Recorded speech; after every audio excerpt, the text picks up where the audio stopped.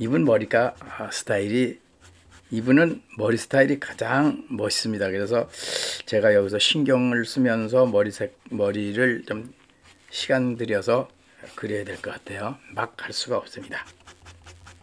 상당히 긴 머리입니다. 그런데 머리가 그냥 머리가 아니라 브릿지입니다.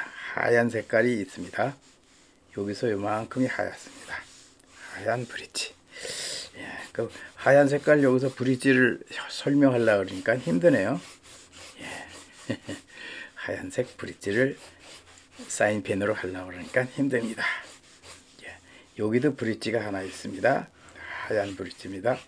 그리고 여기 이제 빨간 옷을 입었기 때문에 예, 안 보입니다. 와 이게 어떡하죠? 브릿지가 안 보이니까 예. 여기 지금 요 한 줄이 쫙 요것이 브릿지 하얀색 브릿지입니다. 예. 그리고 나머지는 아, 갈색 그렇습니다. 예.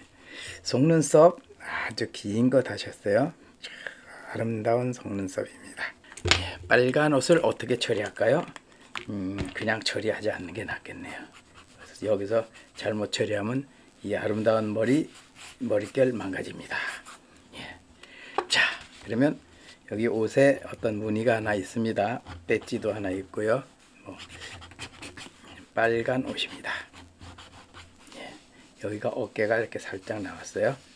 어깨가 살짝 나왔습니다. 예. 사인할 때도 없어졌습니다. 아, 좋습니다. 여기다 사인 넣을게요. 예. 이 영상 공략